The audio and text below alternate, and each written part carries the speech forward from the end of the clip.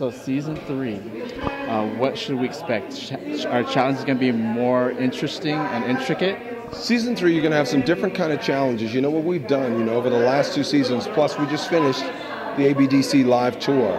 We've learned a lot, and you know, my thing always is, you know, we do this on Idol a bit. If we can find a way to make the enjoyment for the viewer at home even more, so it's a deeper enhancement of the show. We got a couple of cool wrinkles that you're going to love.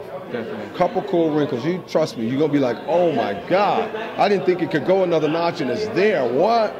Now, how do you feel? You're you're like the master that brought brought the dance crews to mainstream America.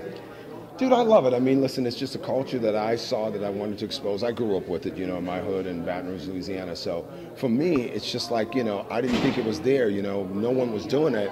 I saw, you know, there are two other great shows, Dancing with the Stars and So You Think You Can Dance. But, you know, it's nice that we found our little niche right there in the middle. And it's kind of young, sexy, hot, cool, flavorful, edgy. So, you know, I just love it, dude. I love crews and I love the camaraderies that crews represent.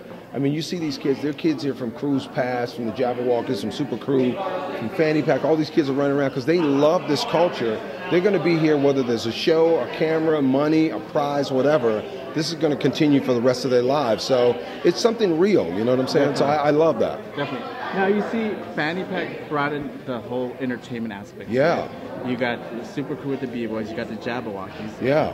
What What do you see? Is there anything going to be difficult to try to find that? maybe that there's a in the crew maybe there's a crew this season that's going to have all three of those things in it plus even more hip-hop edge you never know Yeah, there you go. what if there was a crew that had everything it'd be unbelievable right Definitely, definitely, season three unbelievable you heard it here first three unbelievable definitely. Thank you, Randy.